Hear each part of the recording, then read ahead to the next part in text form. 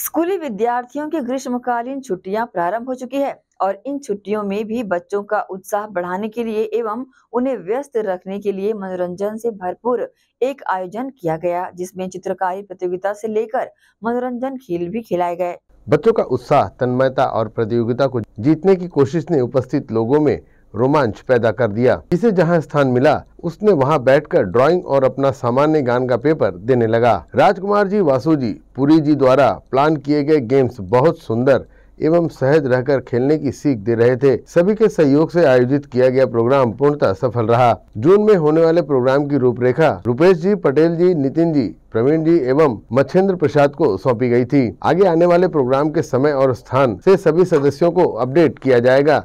यह प्रोग्राम 2 जून को किया जाएगा। कुछ बच्चे खेल में भाग लेने के लिए दिक्कत महसूस कर रहे थे। उन्हें प्रोत्साहित करके भाग लेने कहा गया और उन्होंने प्रतियोगिता में भाग लेकर प्रतियोगिता को जीता भी। स्वयंसेवी संस्था द्वारा आयोजित की गई इस प्रतियोगिता की सराहना पूरे शहर भर में की जा रही है और यह संस्था आगे भी इसी तरह छोटे बच्चे एवं विद्यार्थियों के लिए कार्य करते रहने के लिए प्रतिबद्ध है।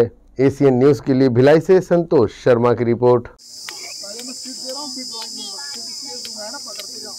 एक एक ठीक है?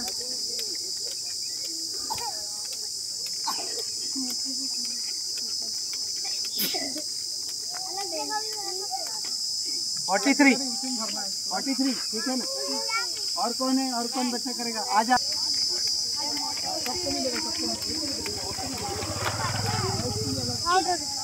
कितना फिफ्टीन नाम लिख नाम बता। खुशबू खुशबू। क्या नाम नहीं लिख